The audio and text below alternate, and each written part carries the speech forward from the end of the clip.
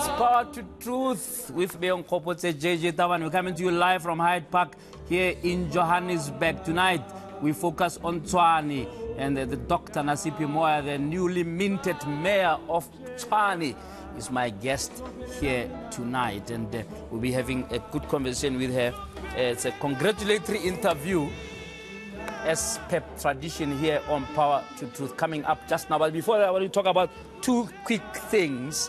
That song saying So Pelela Pina. So Pelela Pina. You would remember, if you are not living under a rock, that in October last year, okay, October last year, which is means a year ago, right, kids were poisoned in Johannesburg, in Soweto and the politicians were running like ambulances. You know, there's somebody who posted something that, hey, these politicians are good at running, man. When they say, hey, they run there. Man.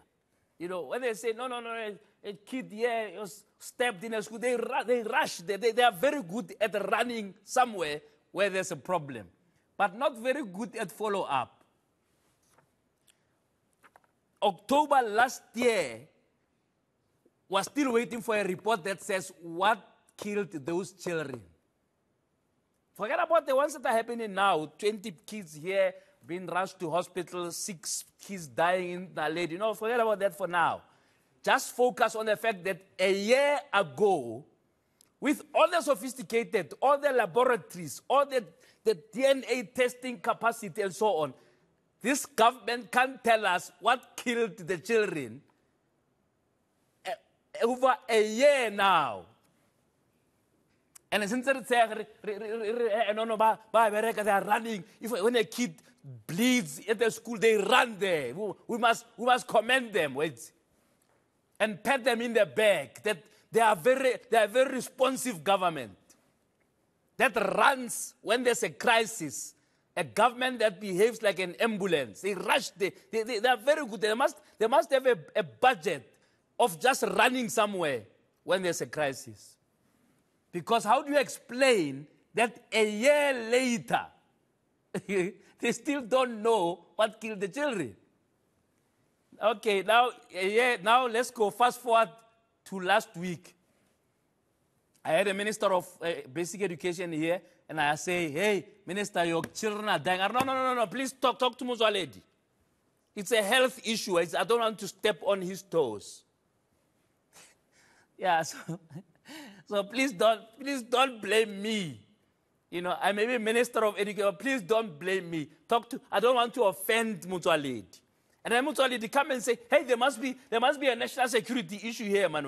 Maybe there's a chemical that's being released deliberately. Cons- After a year, we have to listen to conspiracy theories. When our children are dying, right, assumably from things they buy at tuck shops, assumably of people who are not even legal in the country. it's a complete comedy of errors this country has become. And I, you know, I wish it was an isolated thing, you know, where we, we were all shocked. Oh, no, no, no, they don't know what happened. You know, oh, oh, oh shame, you know. You ask an MEC here, you ask a minister there, they are all ignorant. At least Motsoaledi ventured an answer. No, no, there must be a chemical warfare. I mean, that's really what he meant. And we must believe that. And I'll tell you what the issue is. The issue is that our leaders are so detached that it has become normal to be detached. It's, it's, not, it's not a surprise. They are very detached. I can tell you now without a fear of contradiction if one of those six children, there was a relative of one of these MPs or MECs or ministers, we would know now who killed, what killed those kids. Now we would know, we would have known a year ago. Eh, but no, no, no, it's not, it's just a number. Oh, it's six children, wait.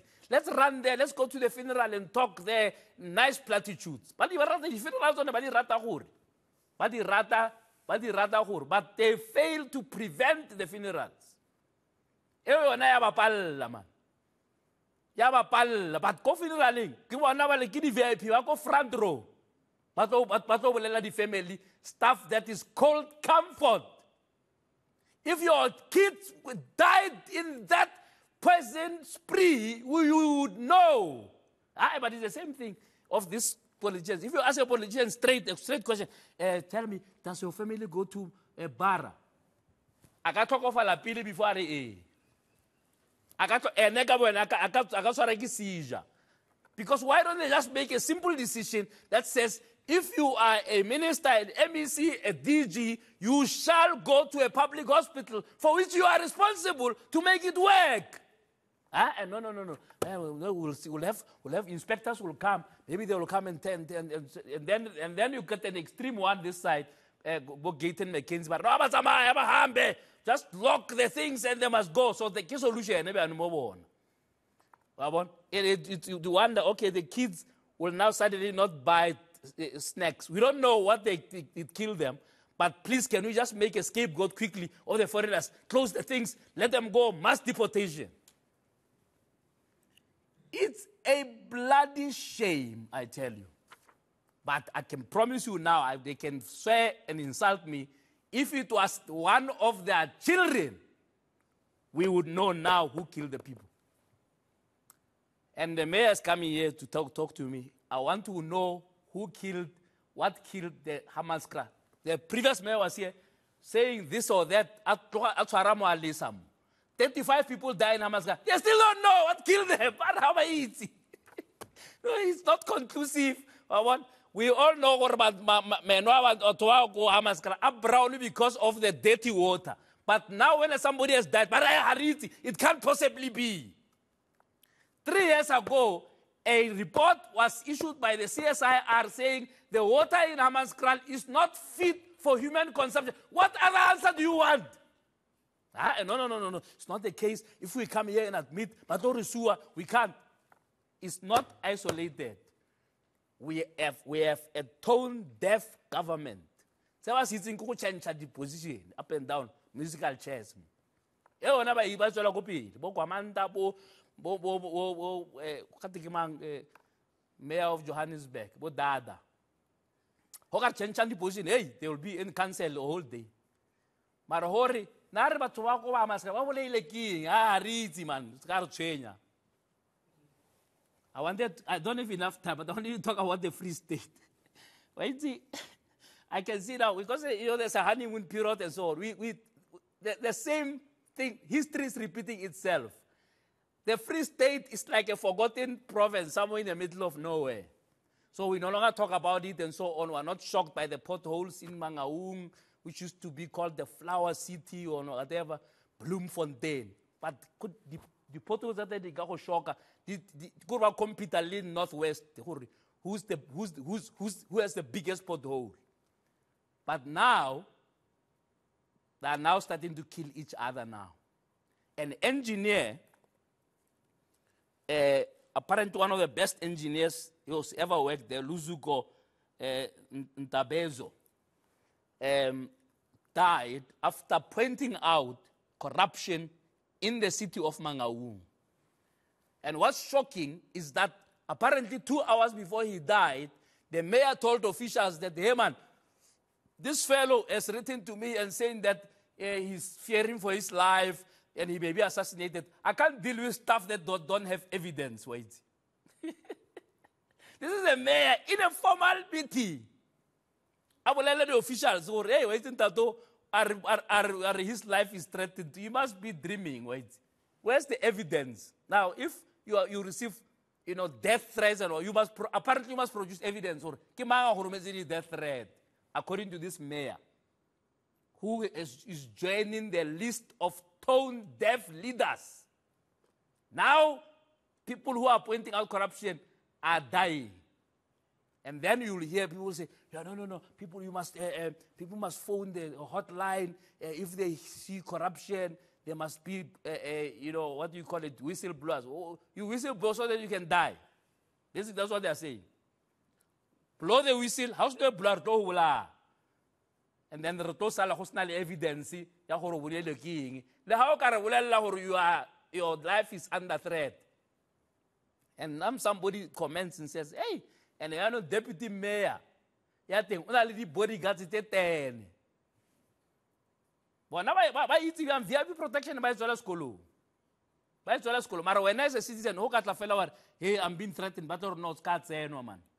Now can you please can please somebody tell me if you are mmc of environment who wants to kill you?